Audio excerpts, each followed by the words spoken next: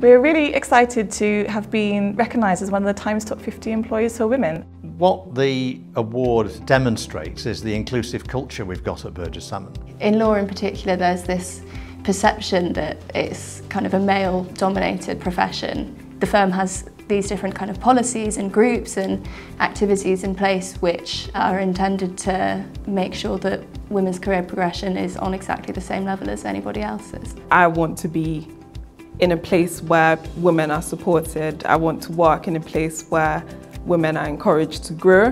The Gender Task Force was set up uh, so that we could make sure that the 65% of the organisation that is female could actually recognise its full potential. I think it's uh, extremely important that uh, these initiatives are seen to be led uh, from the top. I sit on the firm's gender task force which sets uh, the strategy uh, for trying to achieve uh, gender balance right the way throughout the firm. I'm one of the co-chairs of our Gender Balance Network, Be Balanced.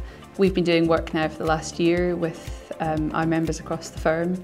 One of my favourite things about my role is being involved in groups like Be Balanced. I think winning awards like this shows that the work that group is doing is really working. So we've done some quite practical things, ensuring that all of the pay at each grade is completely equal. We've moved all of our core meetings so anyone who has pickups or drop-offs to do with kids or caring responsibilities can do that freely. I always felt in the past that I can either focus on my career or on my personal life.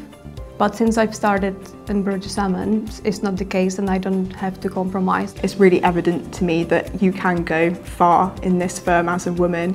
It's really nice to know that this is a workplace that welcomes diversity and supports gender equality. It puts a marker out there to people that the firm's progressive, that it really cares about equality and that there's career development opportunities for everyone.